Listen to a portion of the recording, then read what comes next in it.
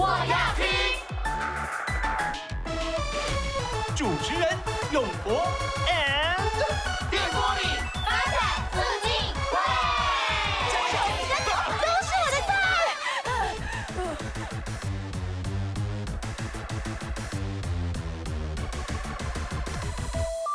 哈利路亚！欢迎收听今天的动漫，我要听。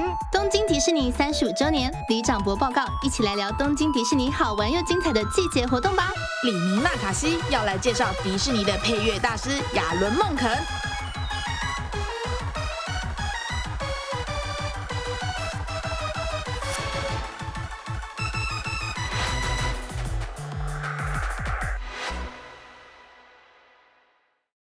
na na na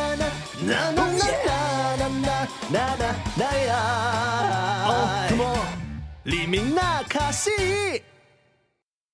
你现在听到的是迪士尼动画电影《小美人鱼》的歌曲《Part of Your World》。欢迎回到《动漫我要听》，现在进行的单元是李明纳卡西，我是李长博永博，在场的李明们先打声招呼吧。我是嘎嘎。刚才大家听到 Part of Your World，脑中是不是浮现了画面？看到艾丽儿在洞窟中游泳，然后数着她的收藏的宝物，最后将手伸出洞窟外呢？其实就在二十九年的今天，也就是一九八九年十一月十七号，《小美人鱼》就在美国的戏院上映喽。大家晚安，我是 Melon。没错，不止这首，还有《Under the Sea》《Kiss the Girl》等经典好歌哦。这些歌曲都是同一位作曲家亚伦·孟肯写的。而且除了小美人鱼以外，亚伦·孟肯也为《美女与野兽》、《阿拉丁》、《大力士》、《风中奇缘》等迪士尼动画电影做了曲子哦。安安，我是卡鲁。之前我们在聊那个动画音乐中的安魂曲的时候，就有聊到亚伦·孟肯在《钟楼怪人》的歌曲里面安排的巧思。Melon 是不是直接承认吧？你那一天就是因为聊得不过瘾，所以另外开了一个副本来介绍亚伦·孟肯，对不对？就是吧就是吧被发现了，被发现了，真不愧是迪士尼系主任。亚伦·孟肯参与的第一部迪士尼就是《小美人鱼》哦。有别于早期的《白雪公主》《灰姑娘》等电影，在《小美人鱼》之后的作品，例如《美女与野兽》《风中奇缘》《大力士》等等，多以音乐剧的形式呈现。当时美国的影视产业一片低迷，这样的安排重新吸引了观众对于迪士尼影片的讨论度。因此，评论家将这段期间称为迪士尼文艺复兴时期。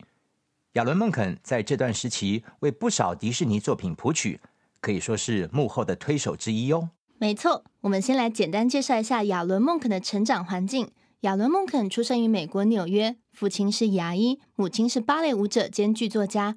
亚伦·孟肯从小学习钢琴、小提琴，喜欢作曲，甚至在九岁的时候就参加过作曲比赛哦。而且他说过，比起学校的课业，他花更多时间跟心力在音乐上面。不过对当时的他来说，音乐是兴趣，不是未来的志向。他也很烦恼自己将来到底要做什么。虽然生于表演艺术家庭，他父母也赞同他往音乐方面发展，但是他同时又带点反抗的心情，不想照着传统路线走。嗯，亚伦·孟肯当时觉得自己应该会跟父亲一样成为一名牙医吧，于是就进入纽约大学攻读医学。但是后来嘞，却又不断的改变他的主修科系。他发现他自己还是热爱着音乐，最后就以音乐学士毕业。但是他不想走学术研究，也不确定自己要从事哪一种工作。他曾经就说过，那时他想要当录音师或者是摇滚明星吧。哇 哦！但是命运的齿轮开始转动。亚伦·孟肯大学毕业之后呢，加入了 BMI 莱曼英格尔音乐剧场工作室。这位莱曼英格尔是美国百老汇的作曲家和指挥，就是这一间工作室的创办人哦。亚伦·孟肯形容，当时他跟其他作曲家一起踏入工作室的时候，心中就有一个声音告诉自己啊，就决定是这个了。从 此，他便全心的投入作曲的工作哦。后来，亚伦·孟肯在 BMI 莱曼英格尔音乐剧场工作室遇见了一位伙伴。亚伦曾经说过，这位伙伴改变了自己的人生。这位伙伴又是谁呢？我们先来听歌，下一段再来介绍他们的相遇以及合作的过程吧。请听《美女与野兽》的 Belle 以及阿拉丁的 Arabian Nights。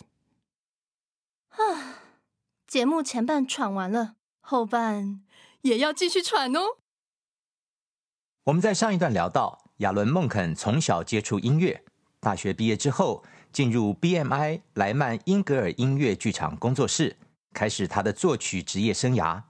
同时，他在那里遇到了改变人生的伙伴，也就是作词家霍华德·艾许曼。这一间工作室的名字实在是有点长，我们就先简称 BMI 工作室好了。呃，亚伦·孟肯在 BMI 工作室的时候，虽然帮不少音乐剧谱曲，但是这些音乐剧很可惜，最后都没有正式在剧场演出哦。直到一九七九年，他跟霍华德首次合作的《上帝保佑你》。罗斯瓦特先生正式推出，受到好评哦。两人再次合作，一九八二年的音乐剧《恐怖小店》获得奥斯卡的提名，更是打响了亚伦·孟肯跟霍华德的知名度。嗯，但是那时美国经济衰退，对剧场产业跟影视产业是个很大的打击。亚伦·孟肯形容当时的情况很惨淡，所以他想要寻求一个出口。当时他最喜欢跟他的大女儿安娜一起坐在家里看迪士尼早期的动画片。像是白雪公主啊、小飞象、小木偶奇遇记等等。亚伦·孟肯曾经说过，迪士尼打造出来的世界对当时的他来说是个慰藉，让他想起自己的童年回忆，也重新思考生命的意义。嗯，没想到就在这个时期，霍华德打了一通电话给亚伦·孟肯，问他说：“哎，要不要一起参与迪士尼的动画电影的作曲啊？是以音乐剧的形式来呈现动画电影哦。”然后亚伦·孟肯他的第一个反应就是。哦，哇，当然好啊！傻了，傻了。霍华德说：“这部动画电影就是《小美人鱼》。当时迪士尼计划推出一部动画长片，希望这部长片能够跟《白雪公主》或者是《灰姑娘》一样，成为迪士尼的代表作。因此，动画公司决定尝试以音乐剧的形式来编写《小美人鱼》，便邀请霍华德跟亚伦·孟肯加入。”他们两位就是在这个时候正式和迪士尼签约。嗯，就像在 BMI 工作室编写音乐剧的时候一样，亚伦·孟肯作曲，霍华德写词。他们想象海底生物跳舞的模样，还有人鱼在海中游泳的姿态，一同创作《小美人鱼》的歌曲。而那首《Under the Sea》也为他们摘下了奥斯卡最佳歌曲奖哦。嗯，虽然这是个令人开心又雀跃的消息，可是，在奥斯卡颁奖典礼当天。霍华德的脸色非常的不好，亚伦·孟肯询问他原因，但是霍华德却坚持等他们回到纽约再告诉他。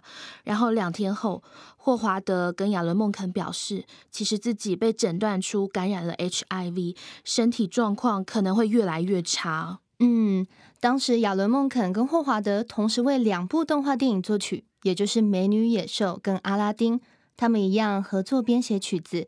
唯一不同的是，霍华德的体力越来越差，最后无法往返自己的家跟录音室。当时霍华德躺在床上，通过电话跟录音师联络讨论曲子。最后在《美女野兽》上映之前，霍华德就过世了。当时霍华德四十岁，亚伦·孟肯形容霍华德就像是我的家人，我的兄弟，使他改变了我的人生。亚伦·孟肯跟霍华德在 BMI 工作室认识。一同撰写音乐剧，将百老汇音乐风格带进迪士尼的动画电影。其实啊，一直到现在，只要点进亚伦·孟肯的官方网站，就能够在年表上面看到亚伦·孟肯缅怀霍华德的文字呢。亚伦·孟肯在音乐会上提到他跟霍华德的合作往事，还会讲到热泪盈眶呢。嗯，很可惜，当时的医学技术不像现在能够妥善控制 HIV 的病情哦，这也是那个时代的一个遗憾啦。一起来欣赏阿拉丁的《Friend Like Me》，还有大力士的《Go the Distance》。在霍华德过世之后，作词家提姆莱斯接手为阿拉丁的歌曲作词，阿拉丁的歌曲也获得了奥斯卡奖项的肯定。亚伦·孟肯也持续为迪士尼的作品提供曲子。其中包含了《风中奇缘》《大力士》《钟楼怪人》等动画电影，以及真人电影、电视影集等等。嗯，还有迪士尼动画电影改编的百老汇音乐剧哦。其实有几部动画电影因为时间长度的关系，不得已只好剪掉其中几首歌曲。但是呢，后来这些遗珠之憾，透过动画电影改编的音乐剧被搬上百老汇的舞台。迪士尼第一部在剧场上演的音乐剧《美女与野兽》就有这样的曲子哦。没错，不知道大家有没有看过《美女与野兽》的动画电影的 DVD？看到一半发现，嗯。卢米亚跟可世华还有城堡里的家具，怎么突然开始唱歌，庆祝他们即将变回人类？等等，这首歌听起来好陌生，以前看电影的时候。有这首歌吗？哎，其实这一首歌叫做《Human Again》，是亚伦·孟肯跟霍华德为了一九九一年的电影写的曲子。但是就跟刚刚说的一样，因为时间的关系被卡掉了啦。没错，一九九四年推出百老汇音乐剧的时候就加到音乐剧里面喽。后来又为这首曲子绘制了动画，加到二零零二年发行的 DVD 还有 BD 里面。在二零零八年开演的小美人鱼音乐剧跟二零一四年的阿拉丁音乐剧也有类似的曲子。哦，没错，可惜今天时间不够，我们另外再找机会介绍。你是在挖坑给自己跳哦？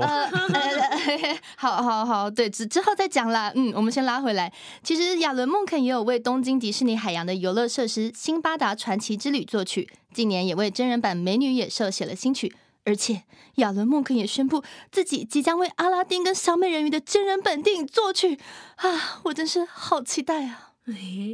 从一九八九年到现在，亚伦·孟肯持续为迪士尼的作品创作脍炙人口的歌曲。他跟霍华德带进迪士尼的百老汇音乐风格，也深深的影响近年的迪士尼动画电影。最后，就让我们一起聆听晚安曲《魔法奇缘》的《I See the Light》。非常感谢各位听众朋友的收听。也谢谢今天在动漫我要听 FB 粉专一起实况聊天的朋友。如果你觉得今天还有哪些亚伦孟肯做的歌曲没介绍到，很可惜，也欢迎到我们 FB 的关于找电波点唱机的表单来点播哦。今天的录音侧拍会在下周上传到 YouTube，欢迎点阅回顾。同样欢迎来逛逛永博跟我们各个李明的个人 Facebook 专业来追踪电波李明们的最新动态吧。大家也可以到 Bravo 电台的官网的精选节目收听已经播出的集数哦。期待跟大家有更多的互动，还有交流。最后，祝福大家有一个平安喜乐的周末夜晚。动漫我要听，下个礼拜再见，拜拜。